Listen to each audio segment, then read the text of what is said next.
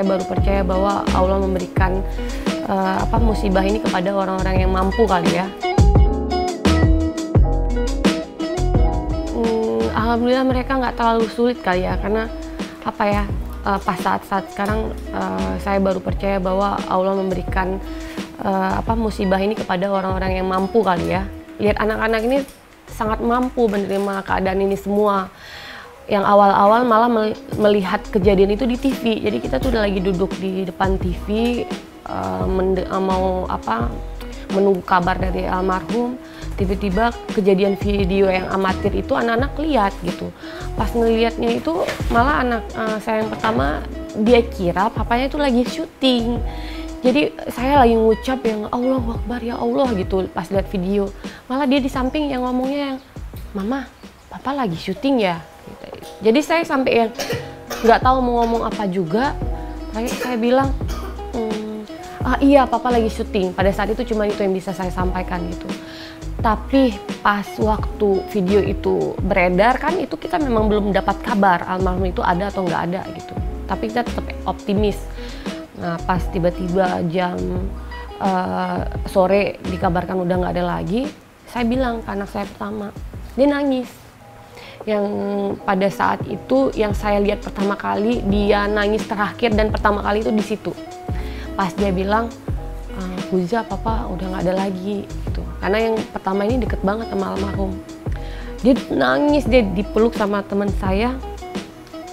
Dia nangis. Nangisnya itu yang benar-benar air matanya tuh keluar ngu, pokoknya keluar terus deras banget. Dia nangis tapi nangisnya diem. Um, terus diusap-usap gitu Nah, di situ saya lihat pertama banget dia nangis. Tapi sampai sekarang saya nggak pernah lagi lihat tangisan dia, cuman itu pertama kali. Nah, yang kedua, anak kedua belum ngerti. Kadang dia ngerti pada saat itu, kadang dia lupa lagi, kadang ngerti, kadang lupa lagi kalau anak yang kedua. Um, itu sih perbedaan anak pertama anak kedua dalam menerima berita ini. Gitu. Uh, Pak, waktu 40 hari almarhum mereka masih nanya.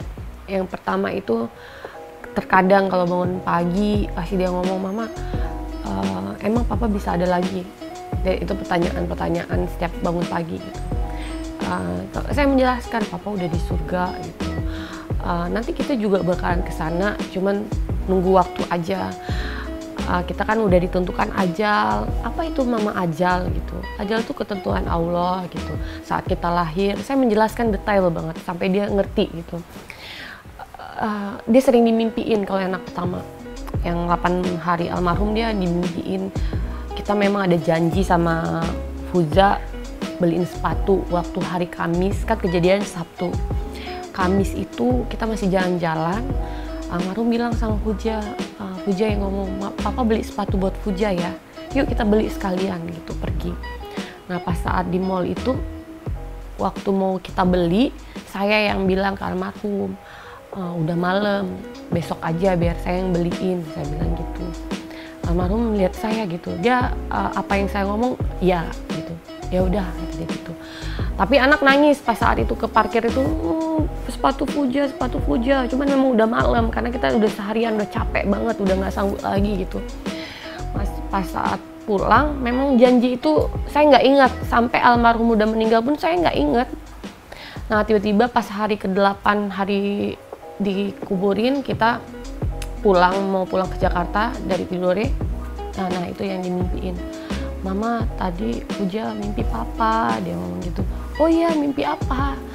Papa datang bawa sepatu buat Puja. Uh, terus di situ saya berpikir oh iya janji itu seandainya nggak ada mimpi itu saya inget pun enggak tentang sepatu itu gitu jadi memang kayaknya almarhum datang ke mimpi Fuza itu memang mau kasih nge saya gitu. Terus saya bilang terus Papa bawa sepatu buat Uja, terus Uja bilang terima kasih Papa, terus gitu, terus uh, cium uh, Papa, di mana? Uja cium di pipi, uh, terus Uja cium Papa di kepala Papa, dia ngomong gitu, terus udah Mama itu aja, dia ngomong. Jadi pas saya pulang ke Jakarta, saya bilang sama ada om saya udah kayak om angkat Pak Abdul Karding tuh rame-rame sama Bunda kejadian ini gitu dia bilang udah ini janji saya yang harus beli sepatunya gitu jadi kita ke mall anak-anak nggak ada kita beli Uli ambil sepatunya ya, uh, ntar bilang ini dari uh, papanya gitu. Jadi pas saya pulang saya kasih, Uja ini sepatu dari papa ya, tapi papa Bang Seva yang beliin. Jadi janji papa udah nggak ada lagi ya. Dia yang iya gitu. Terus dia lihat sepatunya ini sepatu warna putih kayak papa ya mama gitu terus saya dibeliin baju ih bajunya kayak papa mama papa kalau pergi kerja tuh pakai bajunya kayak gini gitu dia seneng banget itu pas waktu saya kasih itu Nah, habis itu bisik-bisikan. Misalnya kayak kita malam, saya sering uh, tidur sama Fuja, saya ngobrol gitu sama dia berdua doang. Karena dia lebih dewasa daripada adiknya karena masih kecil. Kita berdoa, Fuja doa yuk buat papa asal mau tidur. Dia baca Al-Fatihah, Ana semua dia baca. Terus terakhir dia baca ya Allah gitu. Ampunilah dosa papa, masukkanlah papa ke surga. Itu pasti tiap malam kalau ada saya pasti saya arahin dia doa itu. Pas setelah doa itu dia diem. Mama apa gitu.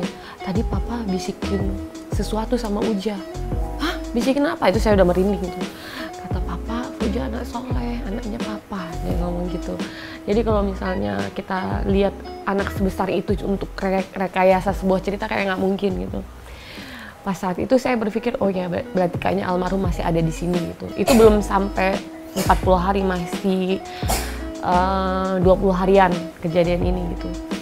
Nah nanti besok-besoknya lagi, ntar dia tiba-tiba datang, Mama tadi Papa datang bisikin Uja lagi, bilang apa? Uja anak pintar gitu. Jadi setelah itu kan saya cerita ke Papa mertua saya gitu. Uh, Fuja ini sering banget deh uh, dibisikin, dimimpiin.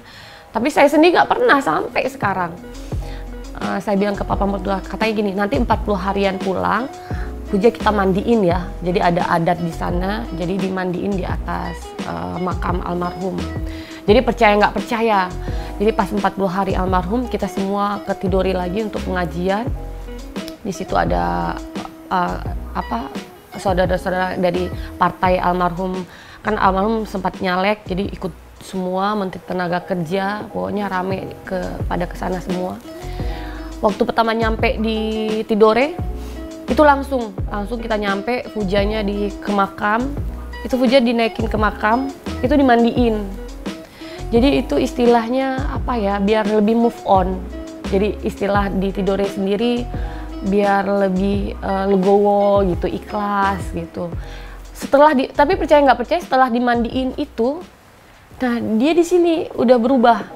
Pas kita balik uh, setelah dimandiin lebih uh, kayak uh, tenang hatinya. Jadi pas pulang ke sini juga bisikan itu udah nggak ada lagi uh, mimpi juga udah nggak. Jadi kayak kegiatan sehari-hari jadi cerita papanya itu lebih ke dia mengidolakan dia lebih ke kenang kenangan dia gitu. Misalnya dia cerita nonton gitu satu uh, situs papanya lagi main kuis di situ.